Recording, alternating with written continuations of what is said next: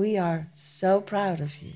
We have so much love for each and every human, and humans have no idea most of the time. They are struggling and striving for things they think they want, while all they want is to be loved. That is the main reason for people to do what they do, searching for love. So every now and then it's good to look at yourself.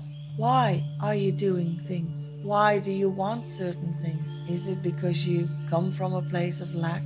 Or is it that basic feeling of wanting to have proof that you are indeed so loved by your higher self? If that is the reason, stop looking because you are loved deeper than you could ever have imagined. No matter how loved you were by your parents or your friends, your siblings, your grandparents, their love is bleak compared to the love that there is on this side of the veil for you.